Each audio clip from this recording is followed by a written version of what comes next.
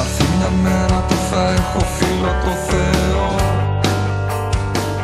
Θα ξεχωρίζω το λάθος από το σωστό.